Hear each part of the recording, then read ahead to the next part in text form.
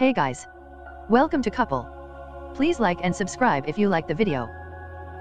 Sofia Sanchez, a 11-year-old Drake fan who's currently awaiting a heart transplant in Chicago, recently got the chance to meet the OVO co-founder.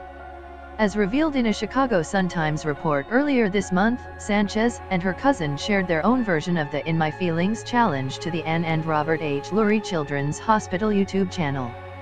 Then, in a separate clip, Sanchez asked the Six God to pay her visit for her birthday. My birthday is this weekend, this Saturday, which your concert is this Saturday, and I love your music, she said. I was hoping that you could come and cheer me up for my birthday or anytime this week. Monday, Drake whose Aubrey and the Three Migos tour hit Chicago Friday and Saturday shared photos to his Instagram of their meeting. In one photo, Sanchez is pictured rocking a scorpion hat. The tour was also hit with its third scheduling hiccup. Due to circumstances beyond our control, the Aubrey and the Three Migos tour date in Toronto originally scheduled for August 20th is being postponed, a Live Nation rep said Monday. Tickets will be honored for the new date when announced. During his Chicago stops over the weekend, Drake notably tossed out a shot at Kanye West, amending the Kanye drop bit in Know Yourself to Kanye flopped.